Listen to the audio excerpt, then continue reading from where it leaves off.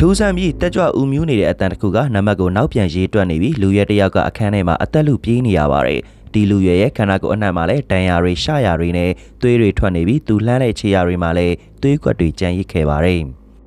ရေတွက်နေတဲ့အတန်းကတော့30ကနေနောက်ပြန်ရေးနေဆဲဖြစ်ပြီးတုံညာမရောက်ခင်လူရွယ်ဟာပန်းနိုင်ကိုရောက်အောင်ပြေးရမှာပါ ဒီလူရွယ်ဟာလည်းသူဖြတ်ကျော်ရမယ်နောက်ဆုံးအဆင့်ကိုရောက်ရှိသွားချိန်မှာတော့သူဖြတ်ပြေးရမယ့်အခါမှာဆက်သွားတစ်ခုကတွဲလောင်ကြပြီးဘဲညာရိမ့်နေတာကိုတွေ့ရတာကြောင့်တခါတည်းပြေးသွားလို့မရပြန်ပါဘူးအဲ့ဒီလူရွယ်ဟာပြေးလိုက်ရင်လဲကျသွားတဲ့အချိန်မှာပဲဆက်သွားရဲ့အသွားနဲ့လူငယ်ရဲ့ကောင်တီတီလေးလွဲသွားခဲ့ပါတယ် အနောက်ဘက်ကနေအတန်ရှင်ကလည်းနံပါတ်စဉ်ဆက်ပြီးရည်နေတာကြောင့်လူရဲ့အမြန်ဆုံးယုံထပြီးဂိမ်းကိုအဆုံးသတ်ဖို့အတွက်ပန်းနိုင်စီကိုခုံလိုက်ပါတယ်။ဒါပေမဲ့လူရဲ့ရဲ့လက်ကအနီရောင်ခလုတ်ကိုမထိခင်လေးမှာပဲအတန်ရှင်ရဲ့တုံညာလို့ရေးလိုက်တဲ့အတန်ကအရင်ဆုံးဥသွားခဲ့ပါတယ်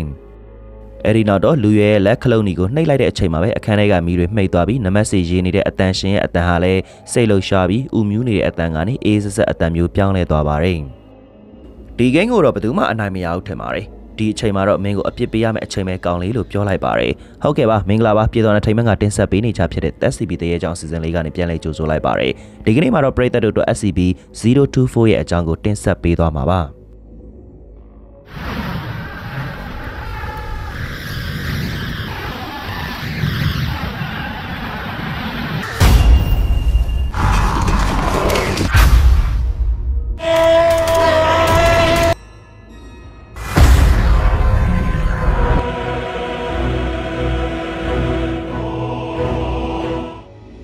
ဟုတ်ပါတယ်ဒီ SCP 024က Squid Game လိုမျိုးတင်မင်းကိုစိန်ခေါ်ပြီးကစားရတဲ့ပွဲတစ်ခုပါနောက်ပြီးဒီ SCP 024ဟာစွန့်ပစ်ထားတဲ့ရုပ်ရှင်စတူဒီယိုအခန်းအဟောင်းကြီးတစ်ခုဖြစ်ပြီးတက်တန်းကလည်းအတော်လေးကြာမြင့်ခဲ့ပါပြီ။တစ်ချိန်တစ်ခါကရုပ်ရှင်ထုတ်လုပ်သူတွေအသုံးပြုခဲ့တဲ့စတူဒီယိုဟောင်းကြီးကဘယ်လိုဖြစ်ပြီးတဘာဝလိုအငွေအသက်တွေနဲ့အထူးဆန်းဖြစ်သွားရတယ်လဲဆိုတာလည်းဘယ်သူမှမသိကြပါဘူး။ ဒီအစာအိုးပြက်ကြီးကိုပထမဆုံးတွေးခဲ့ကြရတာကတော့စွန်စားရတာဝါသနာပါတဲ့ဆဲကျော်သက်လူငယ်တစုပါသူတို့အဖွဲ့ဟာဘယ်သူမှမဝင်ရအောင်ကာယံထားတဲ့ခြံကိုကြော်ခွာပြီးရောက်လာခဲ့ကြတာပါ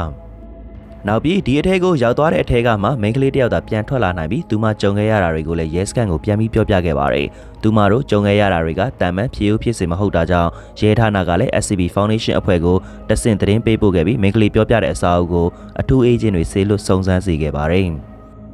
ဒီအစာအုပ်တွေကိုဝင်သွားလိုက်တာနဲ့နေရာမှာတက်ဆင်ထားတဲ့ CCTV ကင်မရာကတဆင်လူတစ်ယောက်ကနှုတ်ဆက်ပါတယ်။အဲဒီလူကအစာအုပ်တွေကိုဝင်လာတဲ့သူတိုင်းကိုပြိုင်ပွဲတစ်ခုလိုသတ်မှတ်ပြီးဧည့်သည်ဟာဂိမ်းတစ်ခုကိုဇာတ်မှဖြစ်ပြီးနိုင်နေဆိုရင်တော့အထူးစုကြီးကိုလက်ခံရရှိမယ်လို့ပြောပြပါတယ်။နောက်ပြီးအဲ့ဒီဂိမ်းဟာလည်းအသက်နဲ့ရင်းပြီးကစားမဲ့ဂိမ်းဖြစ်ပြီးသူတို့အဖွဲ့တွေကတယောက်ပဲဒီနေရာကပြန်ထွက်နိုင်မယ်လို့ဆိုပါရယ်ဒါပေမဲ့သူတို့ဟာဒီဂိမ်းကိုဝင်ကစားမလားမကစားဘူးလားဆိုတာကိုတော့ရွေးချယ်ခွင့်ပေးထားပါရယ် တကယ်လို့မကစားဘူးဆိုရင်အဲ့ဒီလူကိုအစာအုပ်ထဲကချက်ချင်းနှင်းထုတ်လိုက်ပြီးအထက်ကိုထပ်ပြီးဝင်မလာအောင်အထက်ကတော့ခတ်လိုက်ပါတယ်ဂိမ်းကိုကစားဖို့သဘောတူတဲ့သူတွေကိုတော့သူတို့ကစားမဲ့ဂိမ်းစီခေါ်သွားခဲ့ပါတယ်ဒီနေရာကိုရောက်ပြီးဂိမ်းကစားကြတဲ့သူတွေဟာလည်းတစ်ဖွဲ့နဲ့တစ်ဖွဲ့ကစားနည်းတွေမတူကြပါဘူးရှေ့အဖွဲကစားတဲ့ဂိမ်းတစ်ခုကိုနောက်တစ်ဖွဲ့ကကစားရတာမျိုးမဟုတ်ပါဘူးတစ်ဖွဲ့နဲ့တစ်ဖွဲ့ကစားရတာဂိမ်းတွေမတူညီအောင် SCP-024 ကဖန်တီးထားပါတယ် ဒါပေမဲ့အရာအလုံးမှာတူညီတဲ့အချက်တစ်ခုတော့ရှိပါတယ်။အဲ့ဒါကတော့ကစားပွဲတိုင်းဟာအသက်အန္တရာယ်ကိုထိခိုက်စေနိုင်ပြီးရှုံးတဲ့သူဟာလည်းပြင်းပြင်းထန်ထန်အပြစ်ပေးခံရတာပါ။တချို့သောဂိမ်းတွေဟာတယောက်ချင်းရှင်ပြိုင်ရတာဖြစ်ပြီးတချို့သောဂိမ်းတွေကိုတော့အုပ်စုလိုက်ရှင်ပြိုင်စေရပါတယ်။အဲ့ဒီအပြင်ကစားပွဲမှာခြေချော်လက်ချော်ဖြစ်တာနဲ့အသက်ပါပေးလိုက်ရမယ်လူသက်လက်နက်တွေကလည်းရှိလိုနေပါတယ်။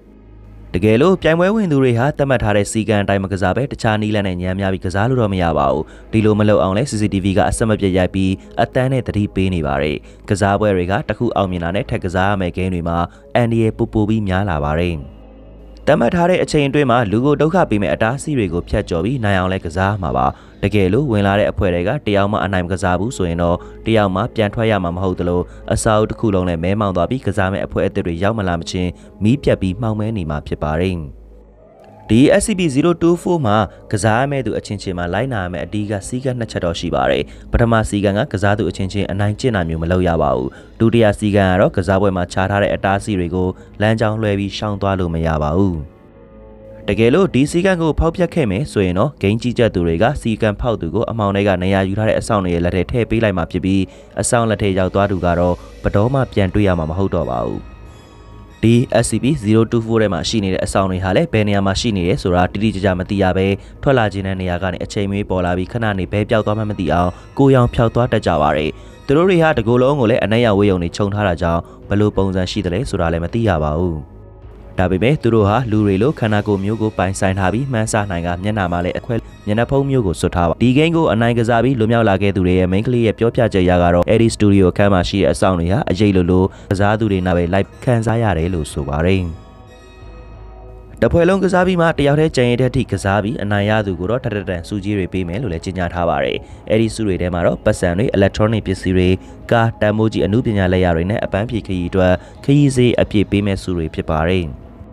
ဒါပေမဲ့ဒါတွေကအနိုင်ရတဲ့သူတွေခံစားရမယ့်စုတွေပါဒါပေမဲ့တယောက်တည်းကြံသည့်အထိအတားအဆီးတွေကိုအောင်မြင်တော့မဖြော့ကျော်နိုင်ဘူးဆိုရင်တော့အရှုံးဖြစ်တတ်မှာဖြစ်ပြီးတခန့်လုံးအမှောင်ကျသွားမှာဖြစ်ပါတယ်။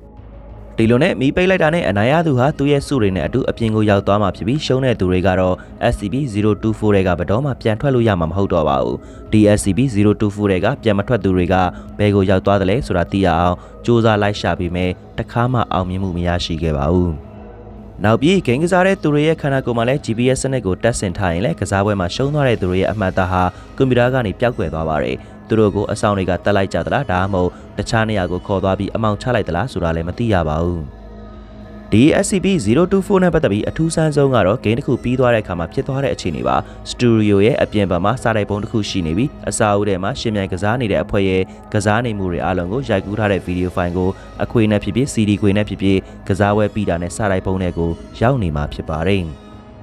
နောက်ပြီးအဲ့ဒီ CD ခွေကိုဖွင့်ကြည့်တဲ့အခါမှာလည်းအထက်မှာကစားခဲ့စဉ်ကမတွေ့ရတာတွေတောင်တွေ့ရတတ်ပါတယ်။ဥပမာသူတို့ကစားနေတာကိုလူအုပ်ကြီးကစိတ်ဝင်စားကြည့်နေတာဖြစ်ပြီးတချို့ဆိုရင်လက်ခောက်တွေမှုတ်ပြီးအားပေးနေကြတာပါ။အနိုင်ရပြီးပြန်လာတဲ့မိန်းကလေးရဲ့ပြောပြချက်အရကတော့သူမတို့အဖွဲကစားတော့ကအစာအုပ်ထဲမှာကစားနေတဲ့သူမတို့အဖွဲကလွဲရင်ဘယ်သူမှမရှိလဲဆိုပါတယ်။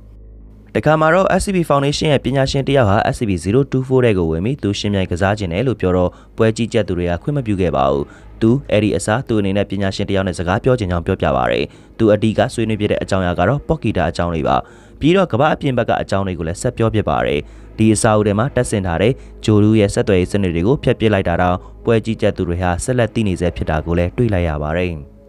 ဒီလိုနဲ့နောက်ဆုံးမှာတော့တယောက်တည်းကစားဖို့ရောက်လာခဲ့တဲ့သူတည်တနာပညာရှင်ကို SCP-024 ကအစာအုပ်တွေကနေအမြဲတမ်းအပြင်ကိုထွက်သွားပြီးဖို့အမိန့်ပေးလိုက်ပါတော့တယ်။လူတွေအတွက်အန္တရာယ်များတဲ့ SCP-024 ကိုနေရာပြောင်းမှုဆိုတာကလည်းအဆင်မပြေလှပါဘူး။ဒါကြောင့်မလို့ SCP Foundation ဟာဒီ SCP-024 ကိုသူရှိနေတဲ့နေရာမှာပဲအပြင်ကနေလူတွေဝင်မလာအောင်စောင့်ကြပ်ခဲ့ကြပါတယ်။ Foundation အဖွဲ့က SCP-024 ကို Euclid အုပ်စုဝင်ထဲမှာလည်းထည့်သွင်းလိုက်ကြပါတယ်။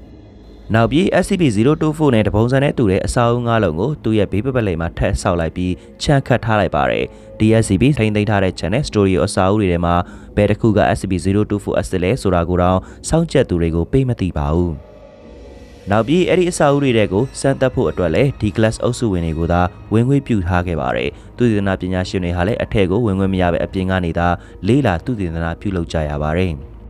နောက်ပြီးဒီ SCP-024 ကိုခြံခတ်ထားတဲ့အုတ်တိုင်းတွေကိုလည်းလေဆာတွေတက်ဆင်ထားပြီးတရရောက်ကများဝင်လာဖို့ကြိုးစားမယ်ဆိုရင်တော့အဆောင်တွေကချက်ချင်းတီးသွားမှာဖြစ်ပါတယ်။ဒီလိုနည်းနဲ့အပြင်လူတွေဝင်မလာအောင် SCP-024 ကိုကာကွယ်ပေးထားတာပဲဖြစ်ပါတယ်။ဟုတ်ကဲ့ပါကျွန်တော်အခုတင်ဆက်ပေးခဲ့တဲ့ SCP-024 ရဲ့အကြောင်းလေးကတော့ဒီလောက်ပါပဲဒီတော့ဒီ Squid Game နဲ့တူတဲ့ SCP-024 နဲ့ပတ်သက်ပြီးပရိသတ်တို့အနေနဲ့လည်းတစုံတစ်ခုမှတ်ချက်ပြုလို့တာများရှိခဲ့မယ်ဆိုရင်လည်း comment မှာပါဝင်ဆွေးနွေးပြသွားဖို့တောင်းဆိုရင်ဒီကနေ့အစီအစဉ်လေးကိုတော့ကျွန်တော်ဒီနေရာမှာပဲအဆုံးသတ်လိုက်ပါရခင်ဗျာအားလုံးကိုကျေးဇူးတင်ပါတယ်